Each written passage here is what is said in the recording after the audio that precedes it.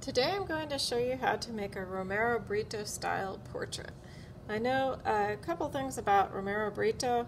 You guys always want to know, is he still alive? He is still alive. He's an artist from Brazil. He paints and sculpts, and he's known for pop art, cubism, and graffiti in his work. Um, and he uses bright colors and patterns to express messages of hope, dreams, and happiness. And right now he lives in Florida. He's lived there since 1989 where he likes to do good things and sell his art to help kids. So let's get started.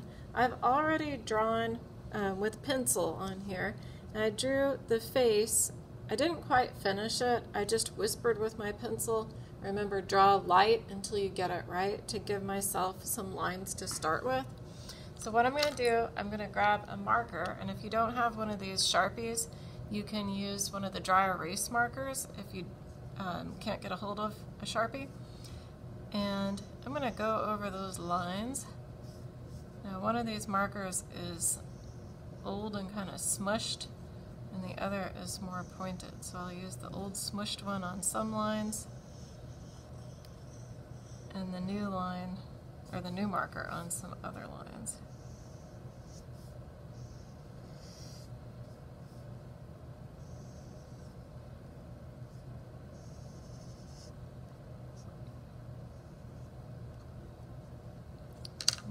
switch here.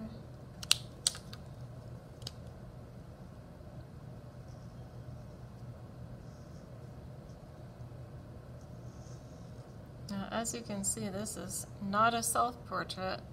This is a picture of someone else. And I'm going to make it abstract. Abstract, if you don't remember, means it doesn't look real. So it's going to be a little bit different.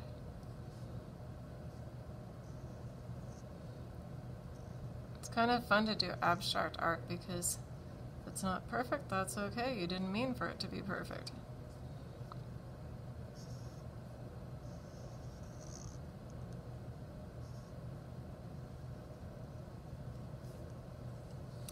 And then get the top of the shirt, the collar. And now it's time to have some fun with patterns. So I'm going to divide up my background into some different areas using rays.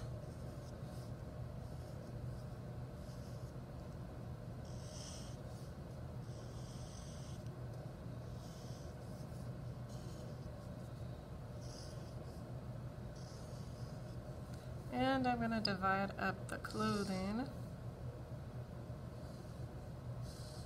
into some different areas just for fun. Maybe add some buttons.